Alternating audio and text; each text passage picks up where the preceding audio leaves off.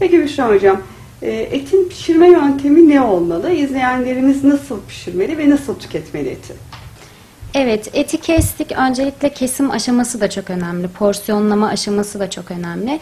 Sebze meyve tahtası ile et tahtasının mutlaka ayrı olması gerekiyor kesimde, porsiyonlamada özellikle ki herhangi bir bulaşı, herhangi bir mikroorganizma bulaşısı olmasın.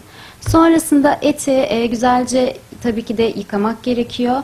E, pişirme yöntemi olarak kendi yağıyla pişirirsek daha sağlıklı olur.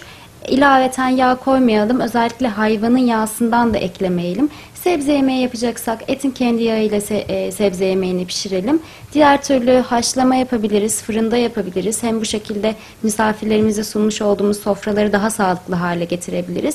Yine mangala da de- değinmiştik. Direkt ateşe temas etmiyor. E, yine bir öğünde sebze yemeği yiyeceksek yine diğer öğünde et yemeği yiyelim ki e, mutlaka dengeyi kurmuş olalım. Hani tüm gün et zaten tüketilecek. E, bu nedenden dolayı bir sebze bir e, et tüketimi daha doğru olacaktır. Ve mutlaka sofralarda e, salata gibi bo- C vitamini limonlu bir salata bulunursa etteki demir emilimini de arttırmış oluruz. Mutlaka hani sebze ve e, et kombinasyonunu yapmak en doğrusu olacaktır bu anlamda.